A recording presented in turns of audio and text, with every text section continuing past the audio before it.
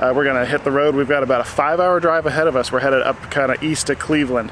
So we're gonna take you along for the ride and you can kind of see how a moving day goes.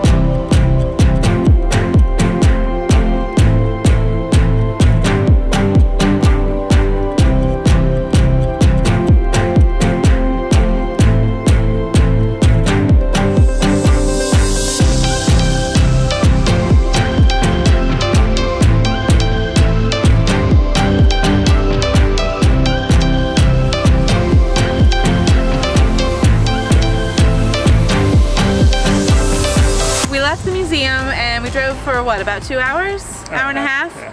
And came across this travel center, welcome center, once we got into Ohio, Ohio about 20 miles past the border. Um, it has it's a truck stop, it's a car stop, it's an RV stop. Um, they have like a, a hundreds of truck places to park overnight. They have like what, 15 maybe? Um, RV hookups with electric. Uh, there's no water out here or anything, but it's kind of nice that they have this available. We're just gonna park here. I'm gonna run in and grab some lunch. They have like a food court inside. We're gonna grab some lunch here and then head on the road to eastern side of Ohio. One thing that we absolutely love about traveling in an RV is the ability to stop and set up like this just for a little bit. Uh, even if it's just to get some food or today, like it was really cool this morning, so I put on jeans, uh, but now I've switched to shorts. Uh, you can't really do that under normal circumstances, but when you travel with your house, you can pretty much do whatever you need to wherever you are. It's a really nice amount of flexibility that we get from doing this, and it's something we appreciate sometimes. they had a food court. What'd you get? Uh, I got some burgers. They have chicken fries at the Burger King. Tara and I are having pasta and stromboli. All right, let's do it. I got a strong point.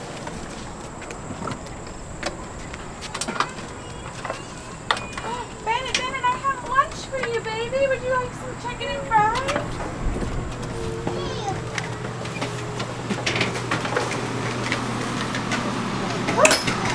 Alrighty. I'm gonna get some plates out, if I can get to them. Get these kids some food.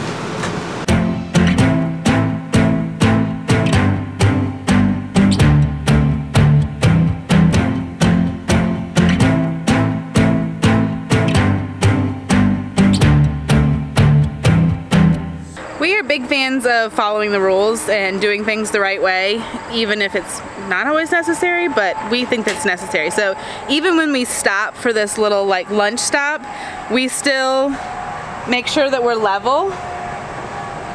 Um, we still make sure that we're level so we can open up the slide because we don't want anything to ever be wonky. And Brian did hook us up to power. We wanted to make sure the refrigerator was working right. And you just want to be consistent with how you do these things.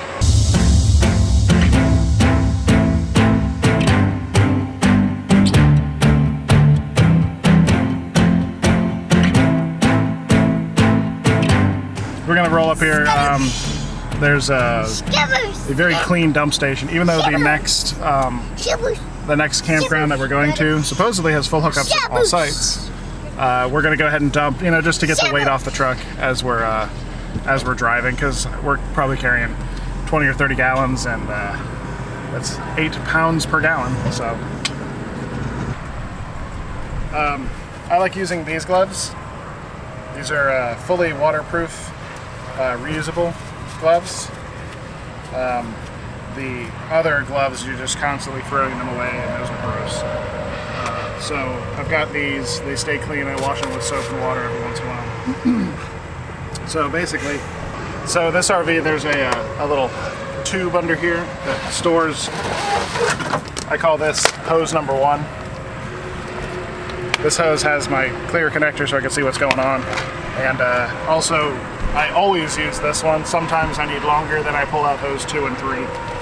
Uh, first thing I do when I'm dumping is I make sure all the valves are closed because we've actually had uh, some, I'll be nice and call them idiots, uh, go around and pull valves on campers while they're in a not full hookup campground.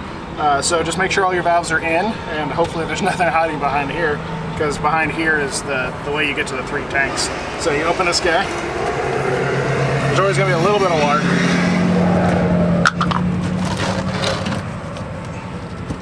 Put that guy on.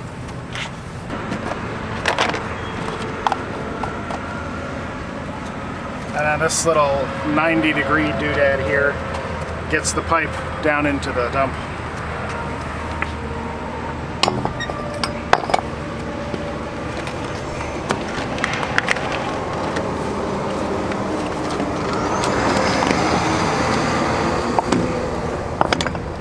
And a lot of times, a lot of times at dump stations there will be bricks or pavers or stones or something heavy to you just kind of lean it on there just to keep it down.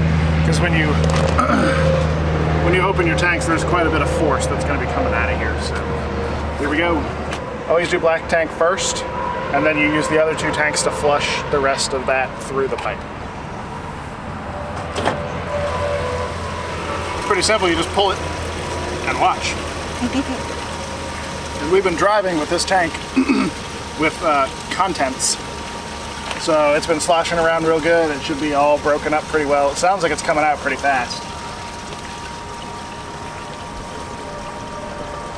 And you're never going to get a full flush unless you use something like a, a wand that you put down the toilet with the hose attached, or if you have a system like the sprayer that we have. We have a Cyclone built into our black tank. Right, so the black tank is done. Uh, so I went ahead and closed that and I just pulled what we call gray two. We have two gray tanks. This is the tank that uh, the sink in the kitchen goes to. Gray one is up front and the shower and the bathroom sink go into gray one. Uh, the washer and dryer also goes into gray one. Uh, so I do gray two first when we're out dumping uh, because the water doesn't come out as hard. So it's kind of a good first flush. Then when I pull one, because it's coming from farther away, it kind of runs downhill and it really like blasts into this hose. So I do gray one last, so it's kind of a more forceful flush. All right, so as you saw in our RV tour part two, linked up above here, uh, this is our Nautilus system.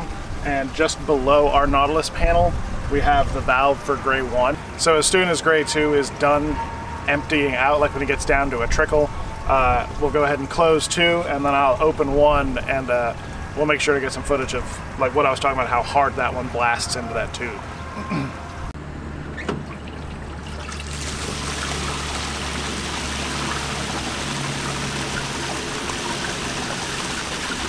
So as you can see, that comes out with a lot more force than gray two. That's why I do that one last. It just kind of blasts through there and gets any little particles out.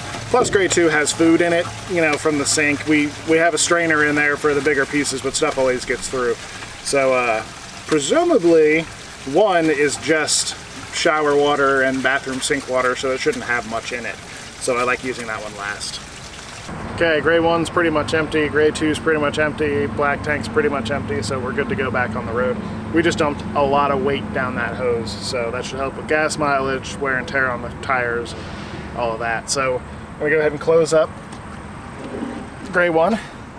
I just push on it and it's connected somehow down in there to a gate valve that shuts on the tank. So I'm pretty much done up here except I need to put my gloves away.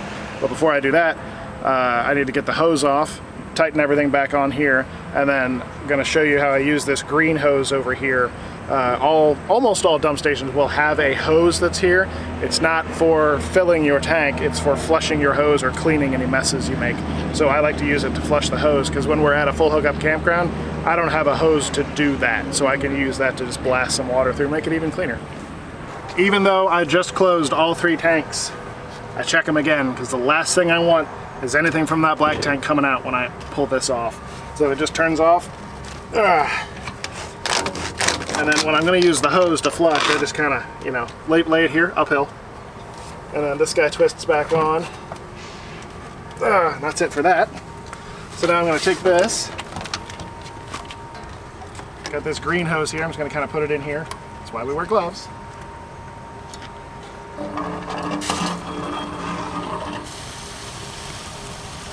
I wish you could smell this.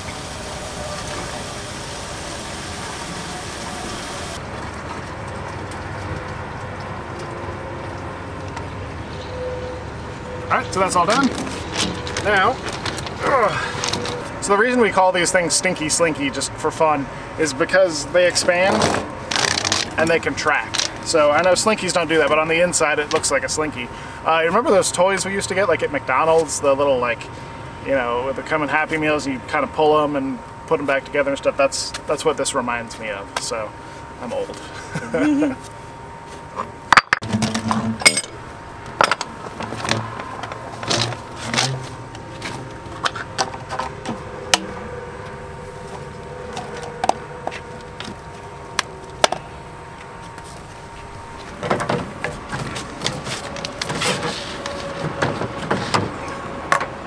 So that guy just slides right in there. Uh, a lot of other people, uh, you can buy these and attach them to your bottom of your RV. Uh, we've seen people with, they'll put like a, a four inch square fence post on their bumper and they'll use that to store the things.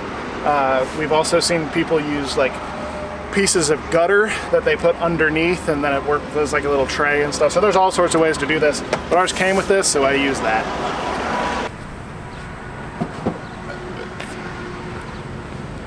All right, I got my little accessories box put away.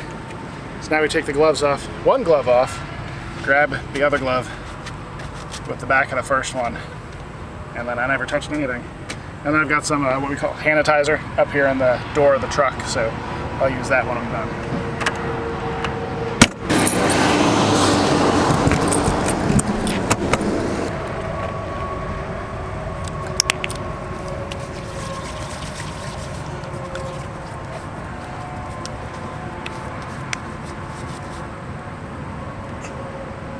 Here we go.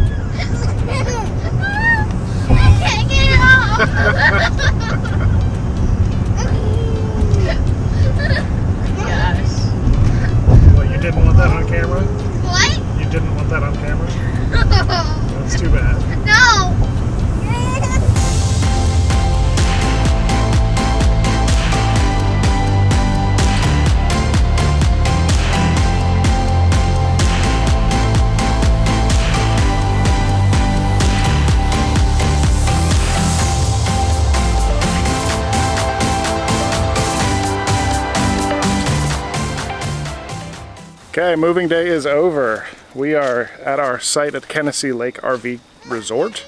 Uh, it's a thousand trails, another one. Uh, but we have full hookups and 50 amps this time, so we're gonna get all of our laundry done. Uh, we're all gonna take showers, get nice and clean, nice long hot water showers, and uh, we're gonna make some pot stickers for dinner and call it a night. Don't forget to like, comment, subscribe, share with your friends, visit us at five2go.com, and join our family on Patreon. Thank you, say bye-bye. Bye-bye.